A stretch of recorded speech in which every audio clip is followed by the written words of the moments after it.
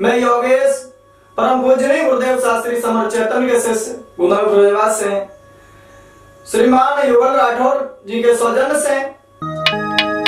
अरे पायल बजे पगन में राधा, और नाची रही मधुबन में राधा।